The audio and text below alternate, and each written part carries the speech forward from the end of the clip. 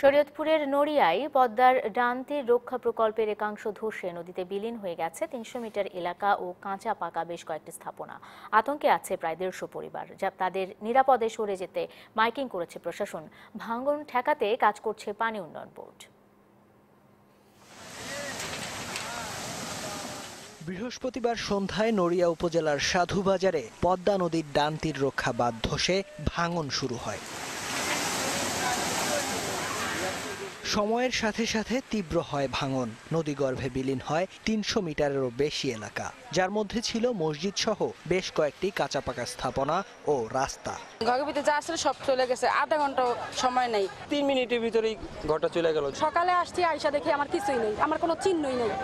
ভাঙন অব্যাহত থাকায় ঝুঁকিতে আছে অন্তত দেড়শো পরিবার।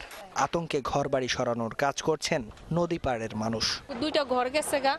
বাচ্চাদের একটা মানে স্কুলের বইও আমি বের করতে পারিনি এর কে ঘর গছাতে গসা পারে না। এদিকে স্থানীয়দের মাইকিং করে নিরাপদে সরে যাওয়ার নির্দেশ দিয়েছে প্রশাসন। মোতায়েন করা হয়েছে পুলিশ। আর ভাঙন ঠেকাতে জিও ব্যাগ ফেলছে পানি উন্নয়ন বোর্ড। এই জায়গাটা অত্যন্ত গভীর খুব বেশি পরিমাণে বস্তা এখানে ফালানো উচিত ছিল এবং সেইভাবে তারা ফেলছে কিনা তা এটা এটা আমার জানা নেই। সয়েলের সমস্যার জন্য এটা হইতে হয়ে- হয়ে থাকতে পারে। তাৎক্ষণিকভাবেই আমরা এই জিও ব্যাগের ডাম্পিংয়ের কাজটা শুরু করেছি যাতে নাকি ক্ষয়ক্ষতিটা আর কোনো বৃদ্ধি না পায়।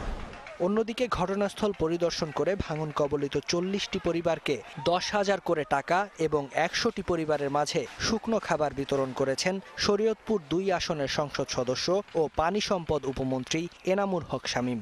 আমি নদী ভাঙন মানুষের পাশে, আমি সহ আমাদের পানি উন্নয়ন বোর্ডের সবাই সর্বাত্মক চেষ্টা করব। আশা করি আল্লাহ রাব্বুল আলমিন আমাদের নড়িয়ার মানুষের দিকে তাকাবেন। এদিকে নিজের বাড়ি ভেঙে যেতে দেখে মঙ্গল ব্যাপারী নামে একজন অসুস্থ হয়ে চিকিৎসাধীন অবস্থায় মারা গেছেন। DBC news desk.